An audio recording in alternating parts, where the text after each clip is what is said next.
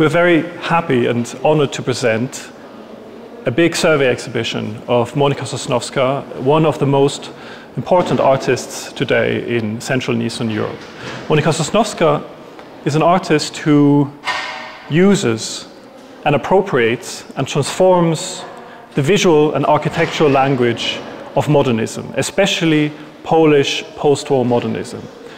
And she creates lifelike and fully functional architectural elements inspired by modernist architecture, which she then transforms into something new. And she does this by using an incredibly complex and forceful uh, process of bending, twisting, contorting the material. She does this, among other things, to address a very complex um, history of modernism in Poland.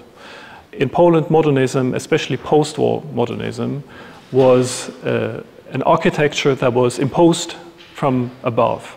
And it was executed in many cases with low quality materials, which means that today these buildings or infrastructures uh, are not only crumbling, um, they are also unloved in many ways because they represent um, a past that has been overcome, an oppressive past that, um, that Poland has struggled against. So, um, post war modernism, in a way, is both visually and architecturally present, and it is also a representative, a manifestation of a past system that has failed in the worst possible ways. It is almost a manifestation of a historic failure of the utopia that never materialized. And Monika Sosnowska's works, in many ways, address this failure.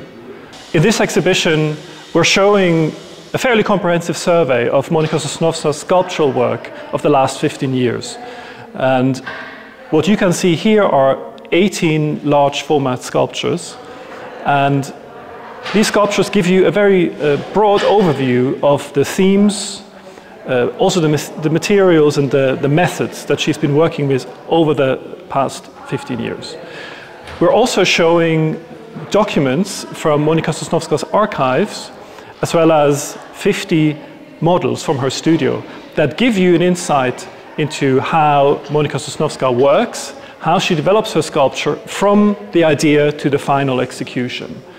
It's uh, really important for us to make visible um, artistic processes because artistic processes are part of our curatorial mission.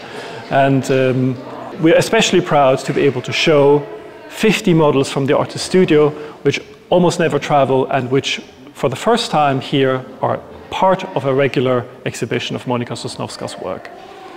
The models of Monika Sosnowska are extremely fragile and extremely intricate objects. Um, and because they're so fragile, they almost never travel.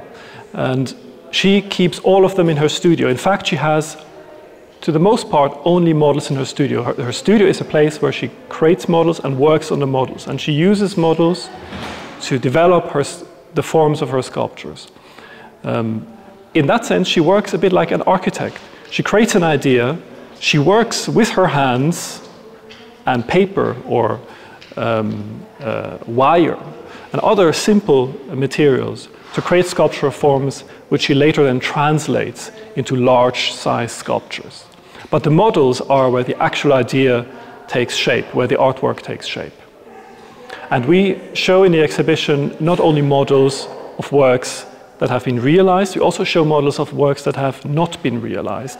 And you might even see, you might even spot some models of works that are in the exhibition here, making visible the trajectory of the work from the first idea to the final execution.